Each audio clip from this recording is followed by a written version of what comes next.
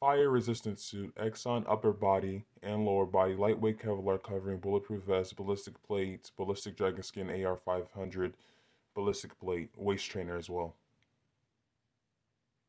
Now with these tanks, they need to be small. So these tanks will be way smaller than fully on my back.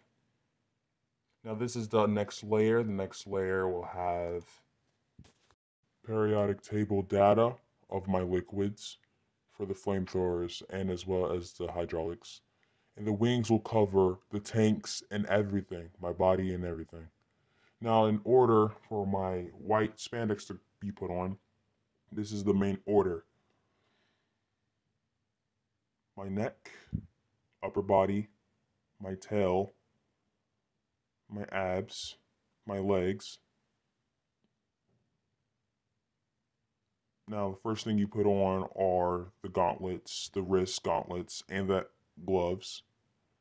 A circle on the back for the tanks, and then a circle for the airbags for my legs. Now, follow this order. It's very important and look close to pay attention. The thickness, the strength behind this is real. The military uses this, but they don't use it in the way I'm using it. True power the real world.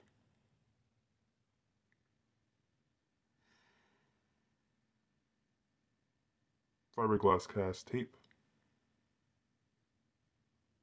Seatbelt buckles, pretty strong.